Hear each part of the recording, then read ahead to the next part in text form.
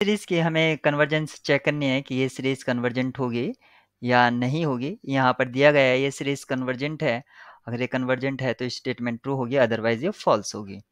तो कभी-कभी सीरीज़ की कन्वर्जेंस टेस्ट करने के लिए हमारे लिए कंपैरिज़न टेस्ट कंफर्टेबल हो जाता है, कन्वीनियंट होता है। तो यहाँ पर हम देखते हैं कि इस सीरीज़ का जो यू एन nth टर्म है वो क्या है n raise to the power n square upon n plus one n square और ये जो है, ये अप्रॉक्सीमेट है n n square upon because of n plus one जो अप्रॉक्सीमेट होगा, वो एन के होगा और यहाँ पर एन स्क्वेयर दे रखा था।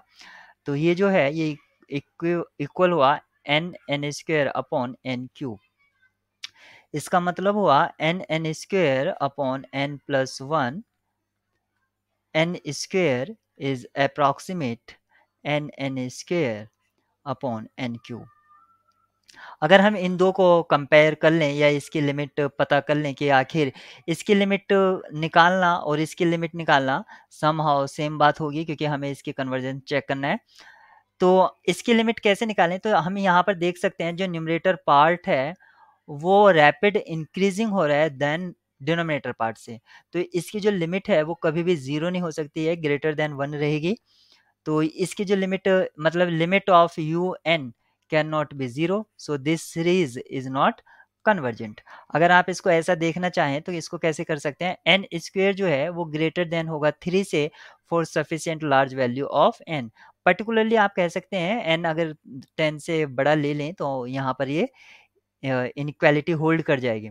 और अगर हम बेस अब इसको एन बेस पर कवर अप करें तो इनक्वालिटी अब भी सेम रहेगी।